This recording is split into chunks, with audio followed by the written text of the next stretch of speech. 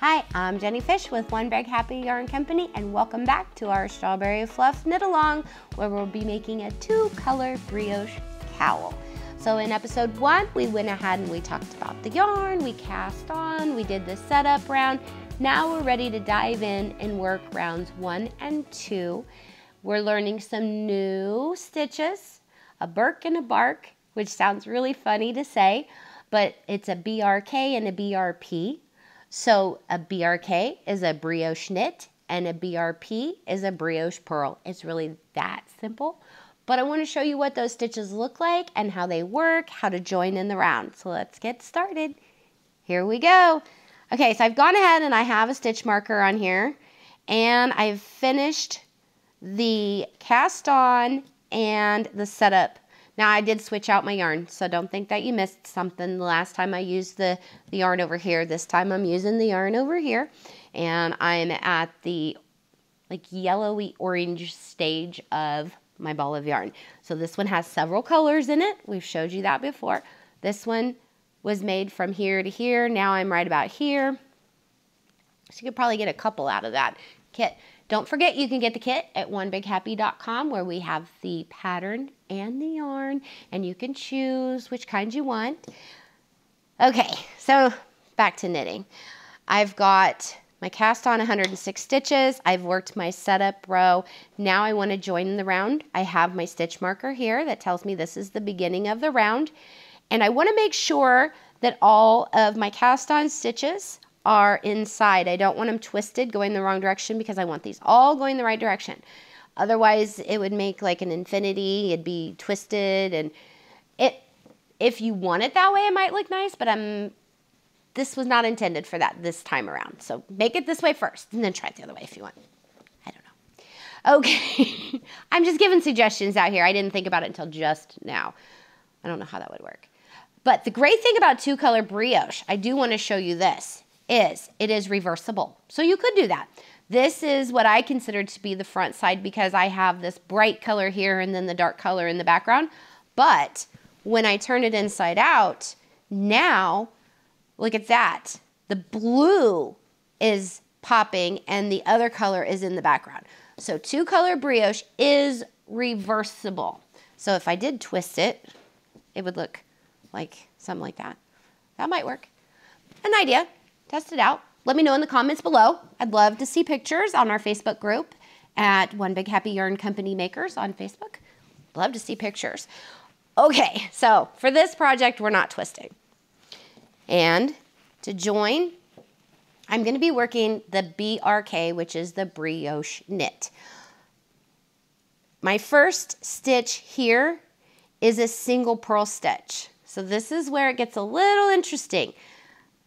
This is one strand of yarn. So that tells me right away that I have to slip that stitch. I'm not gonna work. I'm working it, but I'm not knitting into it. I'm slipping it with the yarn over. So you'll see the SL1YO, which means slip one yarn over. And like I said in the first episode, it's almost easier just to say what that stitch is than to list out the acronym. But when you're writing patterns, okay, I'm using my golden yarn here. I'm slipping this. Now, I also want to realize which direction I'm uh, working my yarn over. I'm going to be knitting. So I'm going to bring my yarn to the front, slip this stitch. Now I'm going to knit.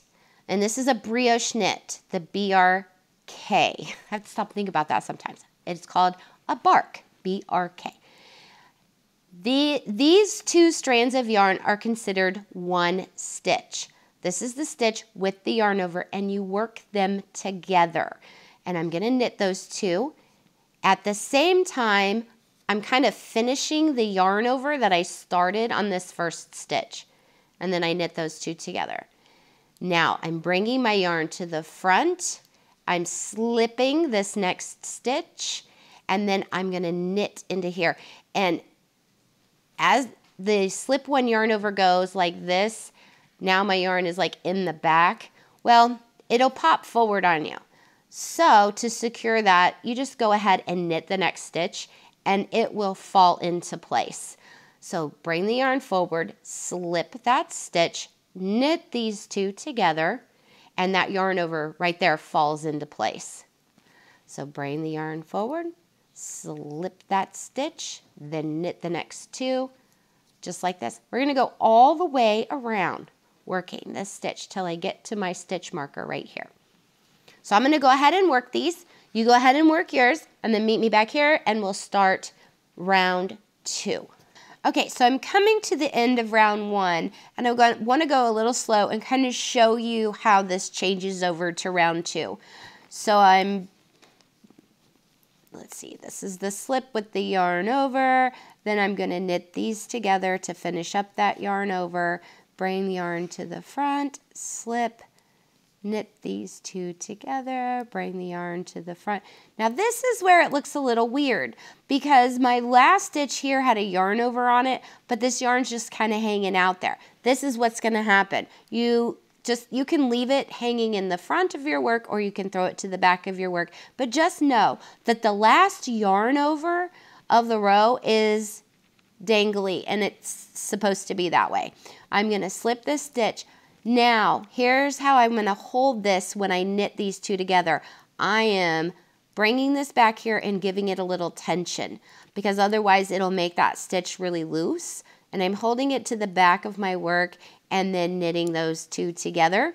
Then slide my beginning of the round marker, drop my yellow color, pick up my blue color, and now I'm ready to start round two.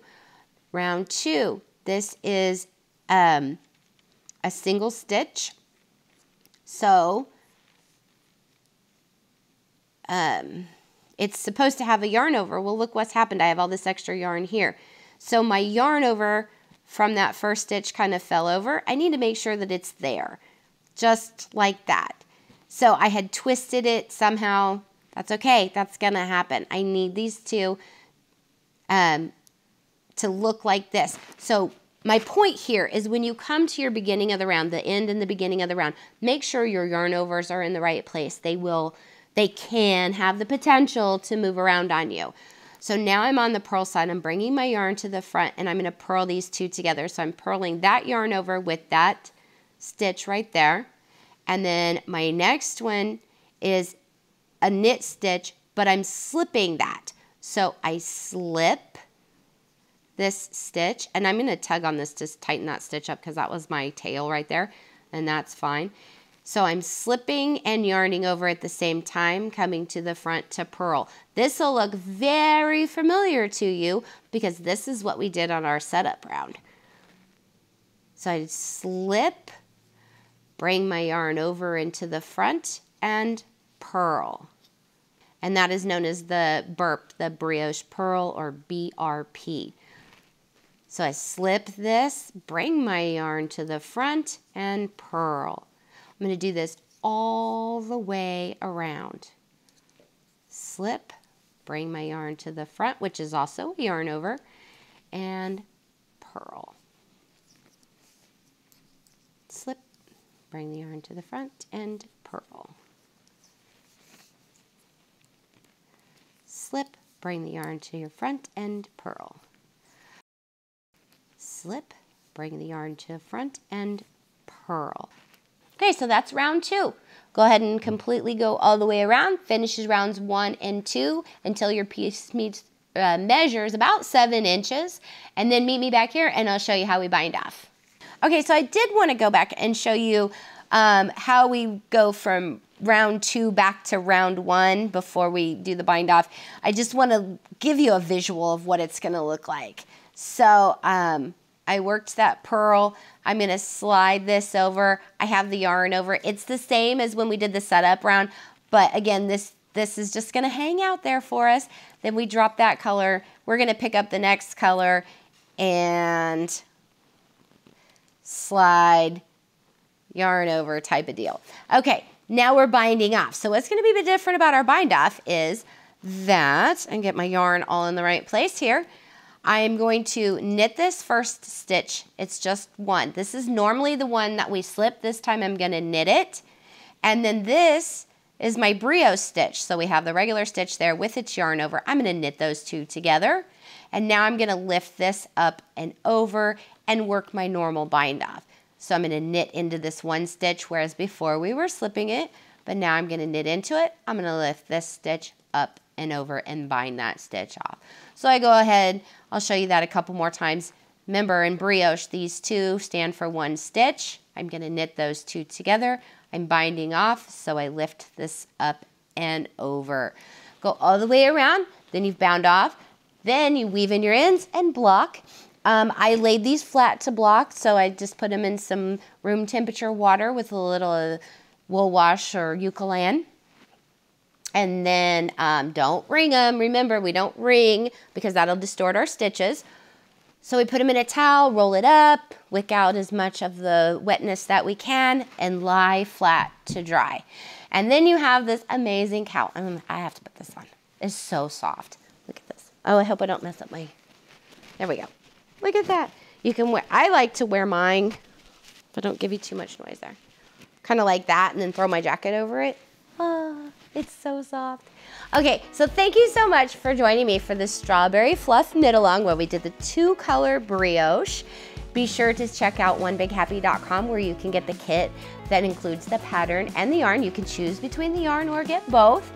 Um, go ahead and leave us any comments if you decide to do the little twist to see what, how that looks. Join our Facebook group at One Big Happy Yarn Company Makers. But most importantly, have a great day and happy knitting.